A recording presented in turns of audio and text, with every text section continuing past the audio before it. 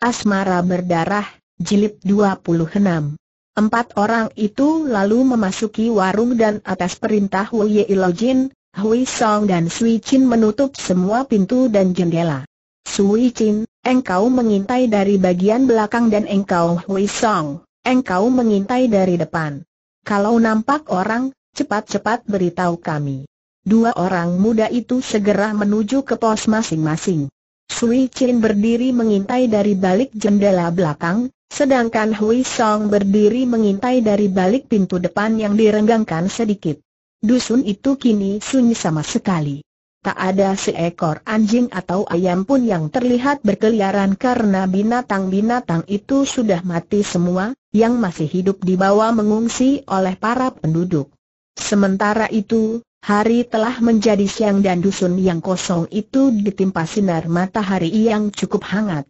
Akan tetapi, pemandangan yang nampak oleh Sui Chin dan Hui Song di luar warung itu amat menyeramkan. Sunyi sekali, tak ada sesuatu yang hidup. Karena itu, bergeraknya daun-daun yang tertiup angin saja sudah amat menarik perhatian. Dusun yang ramai itu kini berubah menjadi sunyi seperti tanah kuburan. Dua orang kakek itu mulai bercakap-cakap dan biarpun biasanya mereka bersikap kocak bahkan ugal-ugalan, kini mereka terlibat dalam percakapan yang serius dan anehnya, dua orang kakek yang sudah jelas mempunyai kesaktian itu kini kelihatan seperti orang-orang yang ketakutan. Sansian, apabila aku tidak keliru sangka, engkau yang selama ini juga bersembunyi dan bertapa, kini keluar tentu dengan alasan yang sama dengan aku, bukan? Si gendut mengangguk lantas mengangkat kedua jari kirinya, jari telunjuk dan jari tengah ke atas. Benar, mereka telah turun ke dunia, atau katakanlah keluar dari neraka dan tentu dunia akan menjadi rusak binasa. Apakah engkau juga mendengar apa yang kudengar di luaran bahwa para datuk sesat akan berkumpul menghadap mereka? Kembali si gendut mengangguk. Sebab itulah aku tiba di dusun ini, katanya. Ketika aku memasuki warung, aku sudah curiga, akan tetapi begitu melihatmu, aku tahu bahwa aku malah memperoleh teman. Aku makan sambil mempermainkan kalian, akan tetapi ketika pemuda itu membawa air, aku mencium hal yang tidak wajar. Wah, hidung anjingmu kiranya semakin tajam saja, kata si kakek katai. Apakah selama ini engkau tetap tinggal di Wu Yei San dan tidak pernah keluar dari tempat pertapaanmu? Kakek gendut bertanya. Kakek katai mengangguk. Mau apa aku keluar? Hanya akan menderita penghinaan saja. Ketika secara kebetulan aku sedang keluar dan mendengar desas-desus bahwa mereka juga keluar dari tempat persembunyian mereka, hatiku lantas terasa panas sehingga aku pun nekat keluar. Dan engkau sendiri? Kabarnya tinggal di lembah Sungai Harum? Benar, aku tinggal di lembah Siang Kiang, tempat yang tersembunyi. Akan tetapi aku tak berutah untuk terus menyendiri di tempat sunyi. Aku mulai sering keluar dan merantau, dan untung perutku sudah menjadi gendut sehingga tak mudah dikenali, apalagi kipasku juga sudah berubah bentuk. Aku pun memakai nama Siang Kiang Lojin. Hihihi, kenapa bisa sama? Aku tinggal di Wu Yei San dan menggunakan nama Wu Yei Lojin, ternyata engkau pun mempergunakan nama Lojin pula. Apakah enam tua bangka yang lain juga menggunakan nama itu? Bagaimana dengan mereka? Si gendut yang memakai nama Siang Kiang Lojin, kakek sungai harum, itu menggeleng kepalanya. Aku tak pernah lagi mendengar tentang mereka. Akan tetapi aku mendengar betapa si iblis buta memimpin beberapa orang capsa kui membantu pembesar korup yang kabarnya kini telah terbasmi. Akan tetapi dengan munculnya mereka berdua itu, apabila para datuk sesat sampai dikuasai mereka berdua, tentu keamanan rakyat akan rusak binasa. Karena itu kita harus menyelidiki apa yang akan mereka lakukan. Dan ternyata mereka telah meninggalkan jejak biarpun mereka telah membunuh puluhan orang di dusun ini. Kakek, apa sih maksud mereka membunuh orang-orang dusun dengan penyebaran racun di dalam air minum Sui Chin ikut bertanya sambil tetap melanjutkan penjagaannya sebab hatinya ingin sekali tahu. Dan siapakah kiranya yang melakukan perbuatan keji itu? Siapa lagi kalau bukan mereka? Ahaha, perbuatan mereka sekali ini belum seberapa hebat. Mereka itu sanggup melakukan apa saja, bahkan yang jauh lebih kejam daripada ini. Dan mereka membunuhi orang-orang dusun itu tentu ada maksudnya, kata kakek katai. Tetapi yang jelas tentu saja untuk membunuh kalian bertiga yang agaknya sudah mereka curigai, sambung kakek gendut Siang Tiang Lojin. Belum tentu kata kakek katai dengan muka berubah gelisah. Jika mereka benar-benar menghendaki kami, kenapa yang mereka racuni adalah sumber air? Tidak, tentu mereka itu hendak membuat panik dan takut kepada penduduk sehingga semua penghuni dusun melarikan diri. Keadaan seperti sekarang inilah yang mereka kehendaki, untuk membuat keadaan di sekeliling sini menjadi sunyi agar mereka dapat melakukan pertemuan dengan aman dan tidak diketahui orang lain. Hai Aa, tua bangka Chiu Sian ternyata masih cerdik sekali. Agaknya hawa arak semakin mempertajam otakmu. Betul sekali dugaanmu itu. Akan tetapi tahukah engkau bagaimana kita akan mencari jejak mereka? Aku tahu melalui air. Bagus. Aku pun berpikir demikian. Mari kita selidiki. SSTTT tiba-tiba saja Sui Chin memberi isyarat tanpa menoleh, matanya ditujukan keluar pondok warung. Aku melihat berkelebatnya bayangan orang, mungkin lima atau enam orang, cepat sekali, di ujung dusun sebelah timur. Aku juga melihat bayangan tiga orang di ujung barat, menuju ke utara, di Sikhui Song. Benar, kata Sui Chin pula. Bayangan-bayangan itu menuju ke utara. Dua orang kakek itu bergerak cepat, mendekati tempat pengintaian dua orang muda itu, akan tetapi bayangan-bayangan yang bergerak cepat itu telah lenyap. Mereka menunggu sampai cukup lama, dan kini dua orang kakek itu ikut mengintai, akan tetapi dusun yang sudah kosong itu sunyi sekali, tidak nampak lagi adanya bayangan lewat di situ. Dan kini senja telah mendatang. Kita harus memberanikan diri mencari jejak mereka sekarang juga sebelum gelap. Siang tadi mereka sudah beraksi dan membunuh banyak orang, maka kurasa malam ini adalah waktu yang telah ditentukan bagi mereka berkumpul. Wu Ye Ilojin yang bersikap sebagai pemimpin rombongan empat orang itu berkata dengan nada mengambil keputusan. Agaknya Siang Tiang Lojin juga tak berkeberatan dan membiarkan rekannya mengambil sikap memimpin. Dia mengangguk dan mereka berempat lalu berloncatan keluar dengan hati-hati sekali. Sesudah mereka berempat mengadakan pemeriksaan dan merasa yakin bahwa di dusun itu memang tidak ada orang lain kecuali mereka berempat, mulailah dua orang kakek sakti itu mengadakan pemeriksaan. Semua saluran air mereka periksa dan ternyata di antara banyak saluran air, hanya ada satu saluran air yang tidak mengandung racun, yaitu yang mengalir ke utara. Hem, kalau begitu tepatlah seperti yang tadi dilihat dua orang pembantu muda kita ini, mereka menuju ke utara dan air yang menuju ke sana saja yang bersih dari racun. Dengan penuh semangat akan tetapi amat berhati-hati, dipimpin oleh Wu Ye Ilo Jin mereka lalu bergerak menuju ke utara, menurutkan jalannya saluran air jernih itu. Saluran air itu berlika-liku sehingga akhirnya terjun ke dalam sungai Huai yang baru saja meninggalkan sumbernya, jadi masih kecil dan jernih. Dan berhentilah mereka di lembah sungai yang datar, yang merupakan padang rumput yang luas. Mereka melihat ada sebatang bambu tinggi yang puncaknya dipasangi sehelai bendera. Itulah bendera yang sangat dikenal oleh Wu Ye Ilojin. Sebuah bendera yang melukiskan dua buah tengkorak di silang tulang-tulang yang menjadi gagang sepasang pedang. Wu Ye Ilojin dan Siang Tiang Lojin nampak pucat dan gelisah. Tentu saja Hui Song dan Sui Chin yang tidak mengenal bendera itu merasa heran. Akan tetapi ketika mereka hendak bertanya, Dua orang kakek sakti itu sudah menaruh telunjuk di depan mulut, tanda bahwa dua orang kakek sakti itu amat gelisah, tak berani bergerak sembarangan, bahkan pernapasan mereka pun agaknya ditahan-tahan agar tidak sampai terdengar, tanda bahwa mereka berdua itu sungguh tidak ingin ketahuan orang. Tentu saja hal ini membuat dua orang muda itu di samping merasa heran, juga merasa ngeri. Bila dua orang kakek seperti mereka itu sampai ketakutan, tentu ada hal yang amat gawat dan agaknya pemilik bendera itu betul-betul memiliki kesaktian seperti iblis sendiri. Malam itu bulan bersinar terang, tidak dihalangi awan. Di angkasa memang ada beberapa gumpalan-gumpalan awan hitam, akan tetapi gumpalan-gumpalan awan itu terpisah-pisah dan hanya lewat sebentar saja, sejenak menutupi sinar bulan lalu pergi lagi, membentuk berbagai macam rupa yang menyeramkan. Lapangan rumput itu pun nampak terang oleh sinar bulan yang lembut dan penuh rahasia. Namun yang tampak hanyalah tiang bendera dari bambu itu saja, dan bendera bergambar sepasang tengkorak yang kadang-kadang saja berkibar lembut tertiup angin malam yang halus.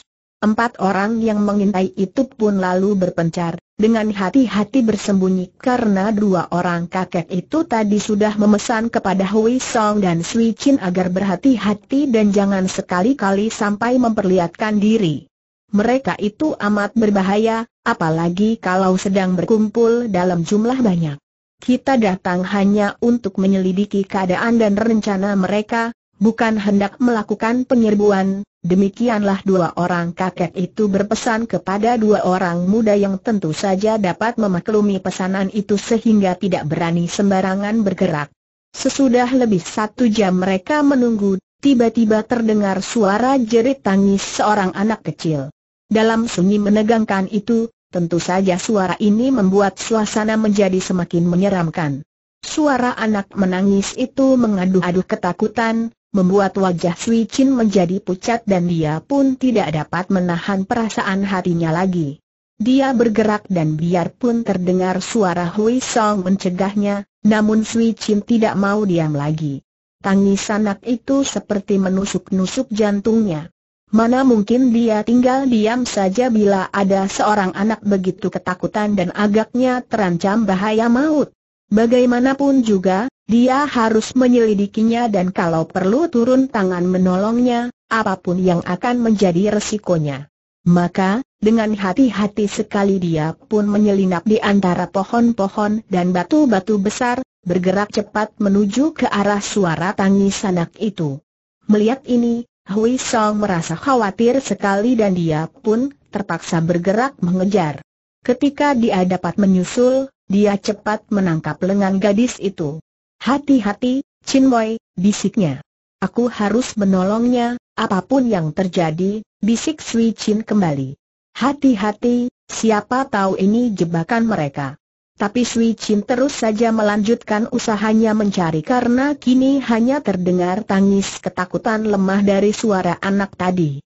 Dan ternyata suara itu membawa mereka menjauhi padang rumput hingga tiba di luar sebuah hutan.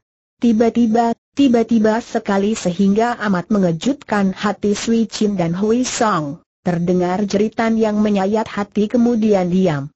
Dua orang pendekar itu saling berpegangan tangan dan saling pandang di bawah cahaya bulan, keduanya terbelalak dan muka mereka pucat.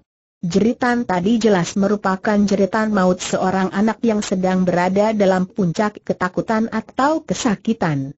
Sui Chin kini bergegas lari menyusup di antara semak-semak, diikuti oleh Hui Song dan tidak lama kemudian mereka tiba di depan sebuah goa, mengintai dari balik batu, pohon dan semak-semak.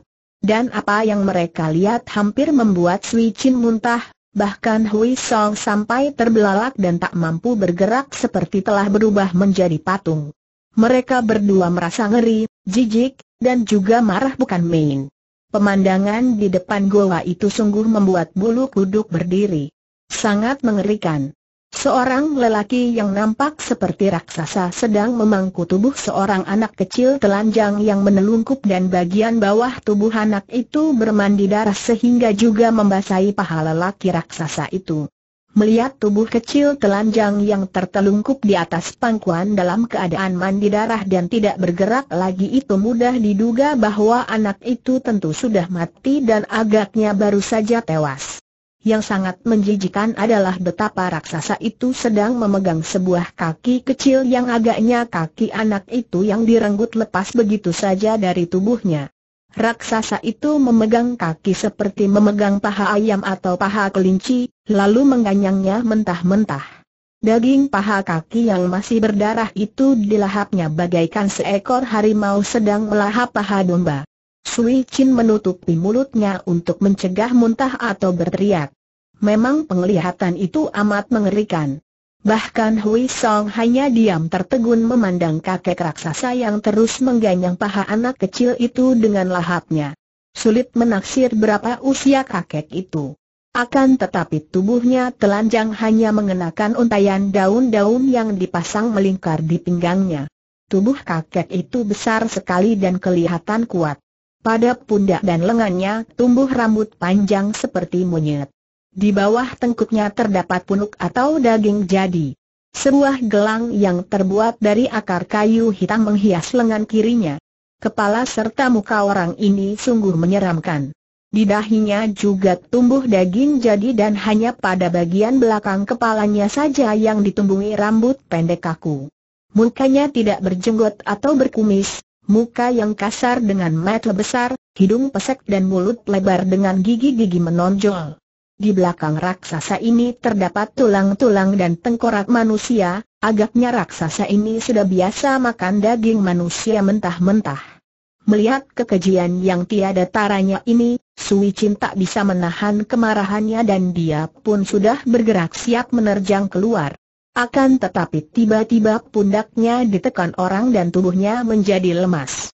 Ketika dia menengok, ternyata yang menekan jalan darah di pundaknya itu adalah Wu Ye Ilo Jin sendiri yang ternyata kini sudah berada di belakangnya bersama Siang Tiang Lo Jin.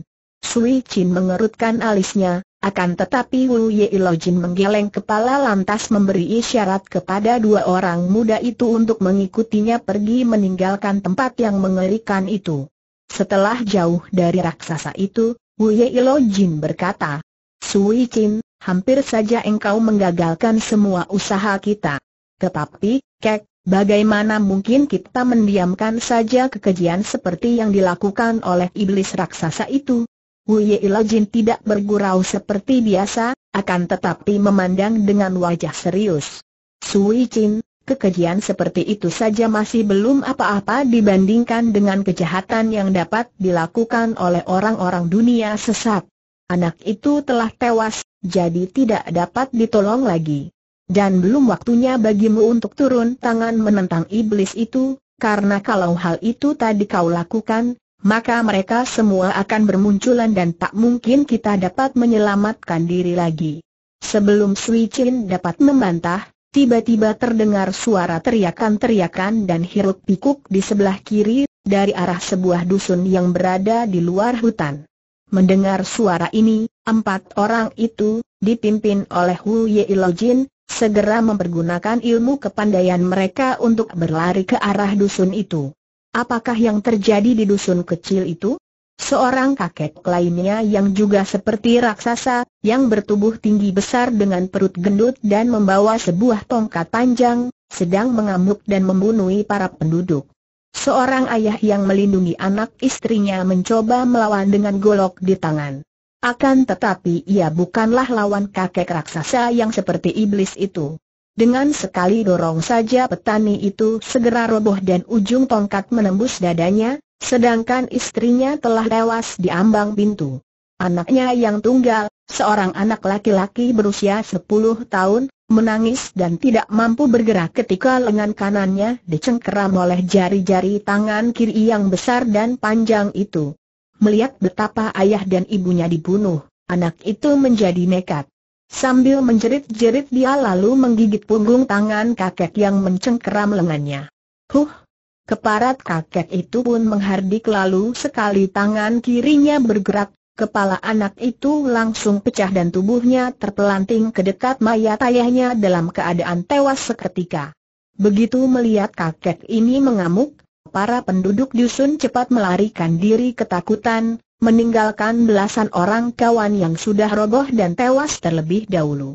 Ketika Wu Ye Ilojin, Xiang Tiang Lojin, Hui Song dan Sui Chin tiba di sana dan mengintai, semua penduduk yang masih hidup sudah lari mengungsi dan yang ada hanya kakek raksasa itu yang tertawa bergelak memegangi tongkatnya, di tengah-tengah dusun dan di sana sini nampak mayat-mayat berserakan. Kembali Wei Ilojin harus menahan Sui Chin yang mukanya sudah merah karena marah dan tangannya sudah gatal-gatal untuk keluar dan menyerang iblis itu. Sabarlah. Mereka memang sengaja membuat pembersihan agar semua dusun di sekitar tempat ini ditinggalkan kosong sehingga pertemuan mereka tak akan terganggu. Dengan berbuat demikian itu, selain berusaha mengusir semua penghuni penduduk, juga agaknya mereka hendak memancing keluarnya golongan musuh yang mungkin datang mengintai seperti yang kita lakukan. Jangan kita mudah terpancing keluar dan mati konyol. Mari kita bersembunyi dan mengintai lagi di padang rumput itu. Di sana adanya bendera itu, maka tentu di sana pula mereka akan datang berkumpul. Empat orang itu berindap-indap serta menyusup-nyusup melalui belakang semak-semak dan batu-batu besar, kembali ke tempat tadi. Di sana masih sunyi, dan bendera itu pun masih berkibar di ujung tiang bendera dari bambu. Akan tetapi, dengan gerakan tangan Wu Ye Ilo Jin menudingkan jari telunjuknya dan memberi isyarat kepada kawan-kawannya untuk memperhatikan ke atas. Sui Chin dan Hui Song memandang ke arah yang ditunjuk dan mereka terbelalak. Di sana, di atas puncak tiang bambu itu seperti ada dua ekor burung raksasa bermain-main. Yang seekor hinggap di atas puncak tiang bambu dan yang seekor lagi berjungkir balik di atas. Ketika yang berjungkir balik tadi melayang turun, yang hinggap di ujung bambu mencelat ke atas, berjungkir balik dan tempatnya kini dipakai oleh burung kedua. Akan tetapi, sesudah dipandang dengan teliti, nampak oleh Sui Chin dan Hui Song bahwa dua bayangan yang bermain-main di puncak tiang bambu itu sama sekali bukan burung melainkan manusia. Dua orang manusia yang semuanya berambut panjang riap-riapan, berpakaian longgar dan dari jarak sejauh itu sukar dikenal wajahnya. Akan tetapi melihat bentuk tubuh yang seorang ramping, mudahlah diduga bahwa mereka itu adalah seorang pria dan seorang wanita. Akan tetapi yang sangat mengagumkan adalah gerakan mereka. Sui Chin sendiri seorang ahli ginkang yang telah mewarisi ilmu ginkang ibunya yang juga sangat hebat. Akan tetapi melihat care dua orang itu main-main di puncak tiang bambu yang lentur seperti dua ekor burung saja, diam-diam dia pun terkejut dan kagum bukan main. Tahulah dia bahwa dua orang itu memiliki ilmu ginkang yang sangat tinggi dan dia, seperti juga Hui Song, segera menduga-duga siapa adanya kedua orang lihai itu. Ketika Sui Chin menoleh dan memandang kepada Wu Ye Ilojin dan Siang Kiang Lojin, dia melihat betapa Dewa Arak dan Dewa Kipas itu tampak pucat, terbelalak dan seperti orang ketakutan. Bahkan ketika si Dewa Arak Ye Ilojin menoleh kepada Sui Chin dan melihat gadis ini seperti hendak membuka mulut, dia cepat memberi isyarat supaya gadis itu tidak mengeluarkan suara. Sekarang nampak oleh empat orang pengintai itu betapa yang pria hinggap di atas ujung bambu dan yang wanita melayang ke atas, berjungkir balik beberapa kali kemudian turun, melayang ke arah pria yang berdiri dengan satu kaki di atas puncak bambu. Akan tetapi laki-laki itu tidak meninggalkan tempatnya dan si wanita dengan lunaknya lantas hinggap di atas kepala lelaki itu dengan kepalanya pula. Mereka beradu kepala dan kini si wanita berdiri jungkir balik, kepalanya menempel pada kepala pria yang masih berdiri tegak. Sungguh pertunjukan yang amat mengagumkan dan kalau saja tidak ada tiga orang lain yang memperingatkannya, tentu Sui Chin sudah bertepuk tangan sambil bersorak memuji. Gin Kang seperti yang diperlihatkan dua orang yang agaknya sedang berlat itu sungguh membuat hatinya kagum bukan main. Akan tetapi, Wu Ye Ilojin yang juga merupakan seorang ahli Gin Kang yang sangat hebat, kini memandang khawatir. Dia tahu bahwa menghadapi sepasang iblis itu, hanya dalam ginkang saja dia masih mampu mengungguli mereka, akan tetapi kini, melihat cara kedua orang itu berlatih, dia merasa sangsi apakah ilmu ginkangnya akan mampu menandingi mereka sekarang. Melihat kekhawatiran pada wajah kedua orang kakek sakti, Sui Chin lalu menyentuh lengan Wu Ye Ilojin, kemudian dengan isyarat ia mengangkat ke atas dua jari tangannya, telunjuk dan jari tengah. Melihat isyarat ini, Wu Ilo Jin mengangguk dan taulah Sui Chin bahwa kedua orang yang sedang berlatih itu benar adalah Raja Iblis dan Ratu Iblis seperti yang pernah diceritakan Dewa Arak yang karai itu kepadanya. Maka tentu saja dia pun menjadi gelisah dan tertarik, memandang dengan penuh perhatian. Tiba-tiba para pengintai itu melihat berkelebatnya bayangan orang. Agaknya mereka yang sedang berlatih di puncak bambu juga melihatnya karena mereka berdua secara tiba-tiba melayang turun. Gerakan mereka ketika melayang sambil mengembangkan kedua lengan dan jubah mereka yang lebar berkibar benar-benar membuat mereka nampak seperti dua ekor burung besar. Tanpa mengeluarkan sedikit pun suara, kedua orang itu turun lantas hinggap di atas dua buah batu besar yang agaknya seperti juga tiang bendera itu, sudah sengaja dipersiapkan lebih dulu di tempat itu. Dengan berdiri di atas batu yang besar setinggi manusia ini, maka kedua orang itu nampak nyata dari jarak jauh. Sui Chin memandang penuh perhatian. Laki-laki itu bertubuh jangkung dan berperawakan sedang. Wajahnya sama sekali bukan seperti wajah iblis atau wajah tokoh-tokoh sesat lain yang biasanya menyeramkan. Orang-orang Cap Sakui juga berwajah menyeramkan, juga dua orang raksasa yang dilihatnya tadi jelas membayangkan bahwa mereka adalah orang-orang sesat yang kejam sekali. Akan tetapi sungguh membuat hatinya penasaran kalau pria ini dinamakan Raja Iblis yang sangat ditakuti oleh dua orang kakek sakti yang berada di dekatnya. Laki-laki itu sulit ditaksir berapa usianya karena meskipun wajahnya masih nampak muda dan tidak keriputan, akan tetapi rambutnya yang panjang dan riap-riapan itu sudah putih semuanya. Kumis dan jenggotnya dipotong pendek. Tak nampak sesuatu yang aneh atau menakutkan pada diri pria ini kecuali barangkali matanya. Sepasang matanya itu bersinar mencorong dan nampak kehijauan. Sungguh bukan seperti mati manusia biasa. Orang kedua adalah seorang wanita yang bertubuh langsing, juga tidak terlihat aneh atau menakutkan. Tubuhnya masih langsing padat bagaikan tubuh seorang wanita muda, dan wajahnya pun belum berkeriput pula, akan tetapi rambutnya yang riap-riapan itu pun telah putih semua. Seperti pria itu, dia juga memiliki sepasang metu yang mencorong bersinar kehijauan. Selain mati mereka yang mencorong kehijauan, juga sikap kedua orang ini amat dingin. Wajah mereka seperti topeng saja, seperti kulit mati dan hanya mati mereka yang hidup. Wajah itu tidak membayangkan perasaan apa-apa kecuali dingin dan mati, dengan kerut di dekat metu dan mulut yang menunjukkan kemarahan atau ajakan atau tidak pedulian. Pakaian mereka hanya dari dua macam warna, putih dan kuning, dan polos.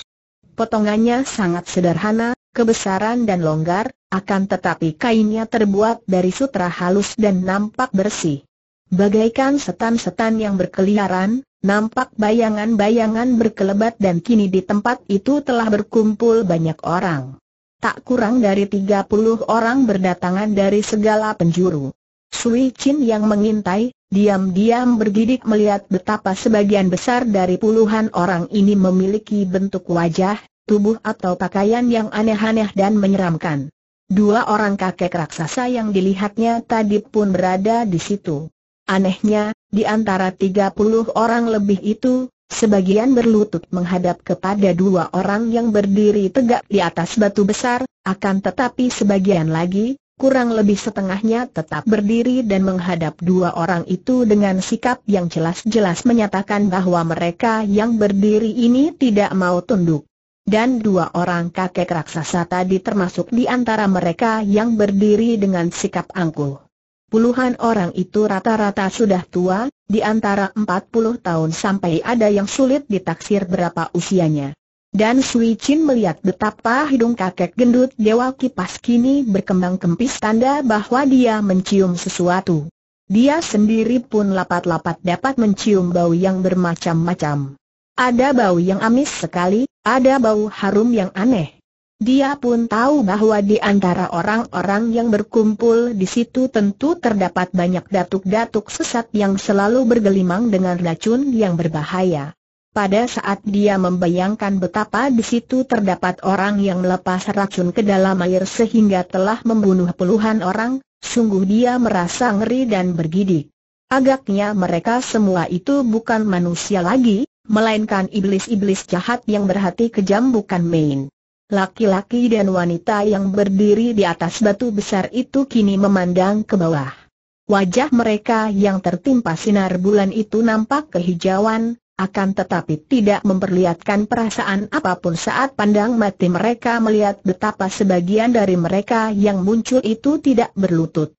Wanita berambut riap-riapan putih itu kini mengangkat tangan kanan ke atas, kemudian terdengar suaranya, suara yang lantang namun melengking halus, menusuk anak telinga. Kawan-kawan yang sudah menunjukkan penghormatan kepada kami, kami menerimanya dan silakan kalian duduk dan berkumpul di sebelah kanan jarinya menuding ke kanan. Mereka yang berlutut itu, berjumlah belasan orang, lalu bangkit dan berkumpul di sebelah kanan, di mana mereka lalu duduk dengan santainya di atas rumput.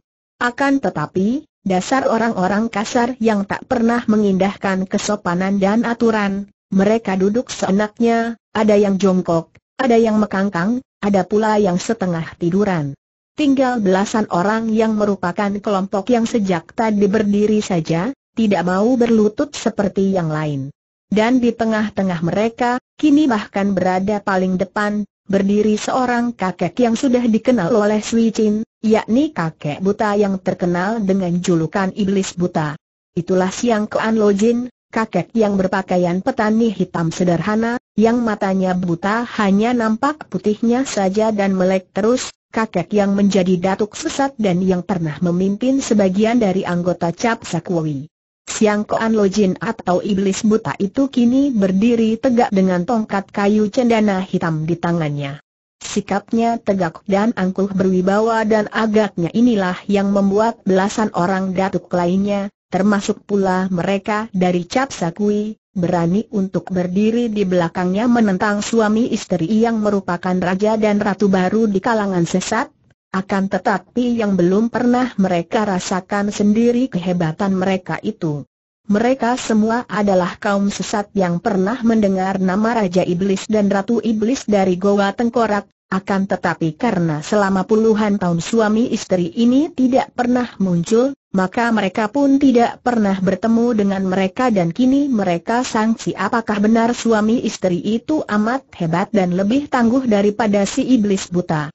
Wanita itu kembali menghadapi mereka yang berdiri di bawah dan suaranya masih tetap terdengar melengking nyaring dan tidak ada bedanya dengan tadi, tidak memperlihatkan kemarahan, hanya terdengar lebih dingin dan kalian yang berani menentang kami dengan pandang matu dan sikap, kami masih memberi kesempatan untuk bicara dan mengemukakan alasan mengapa kalian tidak mau tunduk kepada kami, Raja dan Ratu kalian.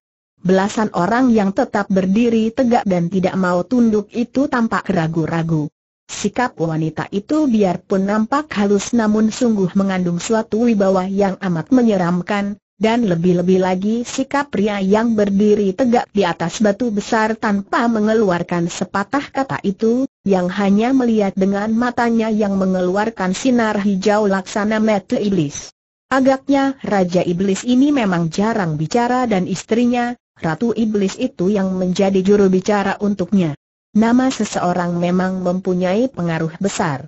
Walaupun belum pernah melihat kelihayan Raja dan Ratu Iblis itu, namun 13 orang capsa kui yang kini berkumpul semua, bersama beberapa orang datuk sesat lainnya dan dipelopori oleh Iblis buta, sudah pernah mendengar kesaktian suami istri bangsawan yang kini menjadi manusia iblis itu. Maka, bagaimanapun juga, ada perasaan gentar di dalam lubuk hati mereka. Hanya karena di situ terdapat Siang Kean Lojin si iblis buta yang menjadi pelopor, maka mereka masih berbesar hati karena mereka semua sudah melihat sendiri kesaktian iblis buta ini yang sudah mereka akui sebagai pemimpin, atau setidaknya beberapa orang di antara Cap Sakui telah mengakuinya. Kini, mendengar pertanyaan serta kata-kata Ratu Iblis, belasan orang itu lalu memandang ke arah Siang Kean Lojin, mengharapkan tokoh pemimpin ini yang akan menjawab. Siang Koan Lojin yang buta itu maklum melalui pendengaran dan perasaan hatinya bahwa rekan-rekannya mengharapkan dirinya sebagai pemimpin untuk menghadapi suami istri yang begitu muncul sudah menentukan dan mengangkat diri sendiri sebagai raja dan ratu para datuk. Dia menjadi marah. Tuk, tuk, tuk tiga kali ujung tongkat kayu cendana yang berada di tangannya itu menotok, di atas sebongkah batu yang berada di depan kakinya. Totokan-totokan itu nampaknya perlahan saja, akan tetapi sebongkah batu itu retak-retak dan ketika tongkat kakek buta mendorong, batu itu pecah menjadi empat potong. Betapa hebat tenaga sinkang kakek buta ini yang disalurkan melalui tongkatnya. Seorang pemimpin dinilai dari perbuatannya, bukan dari namanya ataupun omongannya. Kalian datang-datang mengangkat diri menjadi raja dan ratu dan minta agar kami tunduk dan taat. Kami bukan anak kecil yang bisa kalian takut-takuti begitu saja. Aku siang ke Anlojin, minta bukti apakah kalian memang sudah pantas untuk memimpin kami. Melihat betapa pemimpin ini sudah berani maju menentang, tiba-tiba saja suami istri dari Kui Kopang, yaitu Kui Kok Lomo dan Kui Kok Lobo juga berloncatan ke depan dengan sikap menantang. Kami juga penasaran kata Kui Kok Lobo dengan suara melengking. Melihat keadaan kalian, tidak lebih hebat daripada aku dan suamiku. Mana mungkin kami berdua mau tunduk dan taat kepada kalian kalau kami belum tahu sampai di mana kesaktian kalian? Kui Kok Lobo memandang dengan mata terbelalak. Nenek ini sesungguhnya tidak kalah angkernya dibandingkan dengan nenek yang berdiri di atas batu besar. Dia dan suaminya memang merasa penasaran sekali. Mereka merupakan suami istri yang terkenal sebagai sepasang iblis, ketua Kui Kopang, perkumpulan lembah iblis, dan merupakan dua tokoh capsa Kui yang ditakuti. Kini muncul suami istri yang seolah-olah hendak menyaingi mereka, dan melihat betapa suami istri yang baru muncul lantas mengangkat diri sendiri menjadi Raja Iblis dan Ratu Iblis, tentu saja Kui Kok Lobo merasa penasaran. Kakek nenek di atas batu itu nampak seperti orang-orang biasa saja. Dan memang keadaan suami istri Kui Sanko ini lebih menyeramkan jika dibandingkan dengan Raja dan Ratu Iblis itu. Suami istri ini berpakaian putih-putih dan muka mereka pun putih pucat, seperti muka mayat. Mata mereka mencorong mengerikan dan kekejian mereka sudah sangat terkenal di seluruh dunia Kang Ou. Jauh lebih mengesankan daripada suami istri biasa sederhana yang kini berdiri di atas batu besar itu. Sejenak nenek berambut putih itu memandang kepada suami istri yang berdiri bertolak pinggang menentangnya di bawah batu itu tanpa perubahan air muka, hanya sepasang matanya berkedip-kedip dan sinar pandangan matanya menyambar ganas. Dengan suara tetap halus akan tetapi nadanya semakin dingin saja, akhirnya dia pun bertanya sambil memandang ke arah sekelompok orang yang berdiri di sebelah belakang iblis buta dan sepasang iblis kui kopang itu. Masih ada lagi kah yang merasa penasaran dan yang hendak menentang kami selain tiga ekor monyet ini?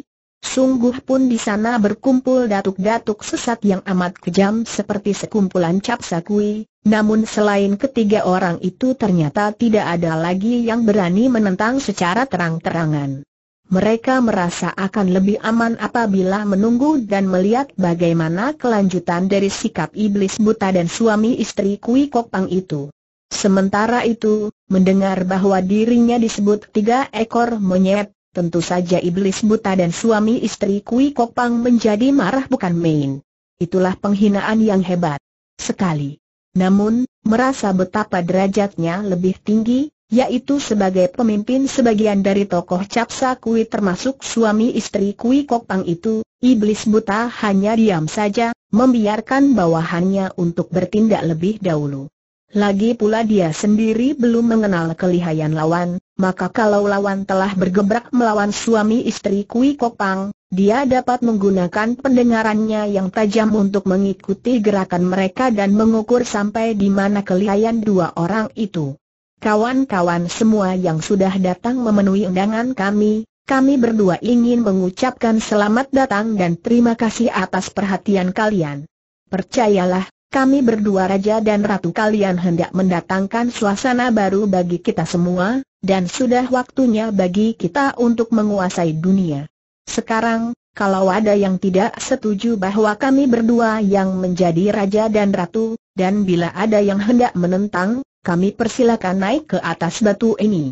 Apabila kami sampai dapat digusur turun dari atas batu ini, biarlah kami tidak akan banyak bicara lagi dan kembali ke tempat pertapaan kami lalu tinggal di sana sampai mati.